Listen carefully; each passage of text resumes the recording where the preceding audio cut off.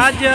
पचहत्तर महीना में बंजारा समाज की महिलाएँ बांसवाड़ा से तेरा टांडा की महिलाएँ सरड़ी गाँव से आए हुए मेहमान बाबा रामदेव मंदिर चौधरा टांडा में सांस्कृतिक कार्यक्रम महिलाएँ